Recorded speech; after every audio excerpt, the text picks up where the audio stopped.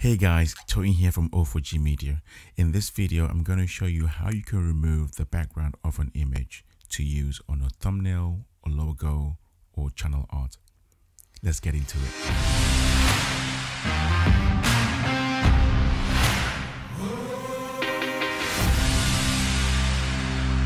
For this tutorial, we're going to be using Canva to illustrate how you can remove the background of an image.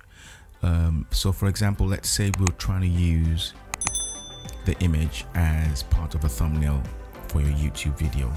In this example, we're using YouTube thumbnail. So we click on that. And obviously you're presented with uh, a black canvas for you to um, work with. So I'm just going to go into my uploads and click on one of my images.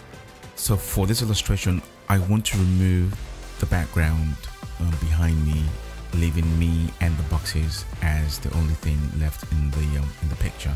To do that make sure that the image is selected and you go up here into effects and you choose background remover now I must stress here that the background remover tool is only available in Canva Pro, which is a paid version of Canva.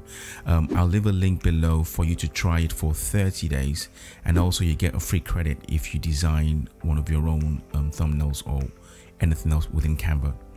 So once you've um, selected the image you want to remove the background from, just go ahead and click on background remover and Canva will do its thing. It will render everything out and you'll be left with just that.